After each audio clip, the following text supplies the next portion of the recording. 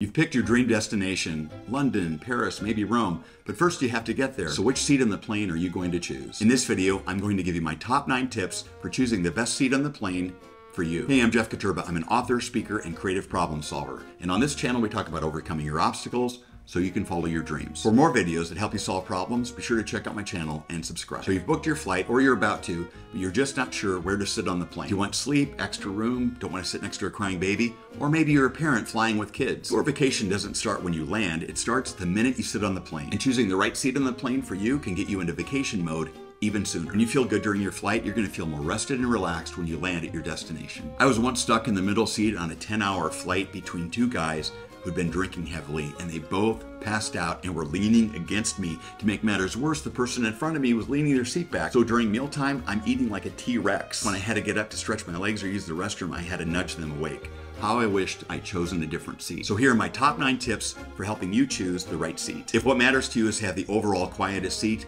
then sit toward the front of the plane and avoid the back. A window seat is going to be quieter than an aisle seat, you know, because of the drink cart and all the distractions in the aisle. Avoid sitting next to the restrooms or the galley. The galley is that area generally toward the back where they prepare the food. For the smoothest ride and to minimize turbulence, sit over the wing. Most plane engines are mounted under the wing, and that allows for a better center of gravity. If you want to catch some Z's, if you're a side sleeper, choose a seat next to the window. That allows you to lean against it and to snooze away. Mm. Otherwise, the bulkhead is ideal. The bulkhead is that dividing wall between cabins, and generally there's more legroom. Keep in mind, on many larger planes, the bulkhead is also where the restrooms are, so there might be more distractions. Traveling with kids, the bulkhead is perfect for you. Plus, on many larger planes, the bulkhead will be next to the restrooms. Let's say you want to avoid sitting next to a crying baby.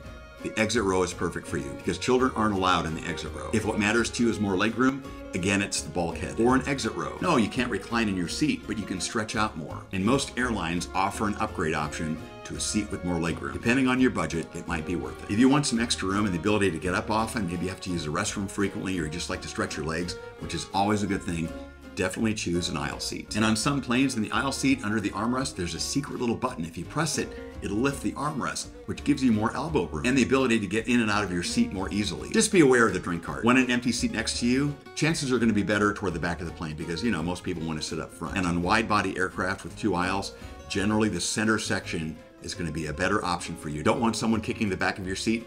Choose a seat at the back of the cabin. No, you can't lean back, but then again, you won't have anybody kicking you. I will say I've rarely had anybody ever kick the back of my seat. Keep in mind, some airlines like Southwest, you can't choose your seat in advance. Rather, it's first come, first serve, depending on your boarding group. And the more often you travel with them, the sooner you'll have a chance to board. When available, you can often upgrade your boarding group. Quick note to those sitting on the aisle or next to the window, the person in the middle seat, they get the use of the armrests. It's basic flying etiquette. They should put little signs in the back of each seat. The person in the middle, they get the armrests. I'm here for you, middle seat person. When you fly and choose the right seat for you, you'll enjoy your flight more. And when you enjoy your flight more, you'll feel more rested and relaxed upon landing, which means you'll start enjoying that destination right away. I hope these tips on where to sit on a plane were helpful for you. Which seat are you going to choose on your next trip? Let me know in the comments. For more videos that help you solve problems, be sure to check out my channel and subscribe. Thank you for watching. Traveling can be the best way to experience other cultures and to enrich your life.